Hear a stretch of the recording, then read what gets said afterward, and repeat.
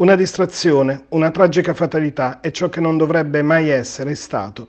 È un pomeriggio di sole tra le case in campagna di via Strada del Palazzo a Pescara. Un uomo alla guida di un piccolo trattore tra gli ulivi sta accatastando forse delle sterpaglie. A pochi metri da lui il figlio, Luca, di appena quattro anni, in sella la sua biciclettina.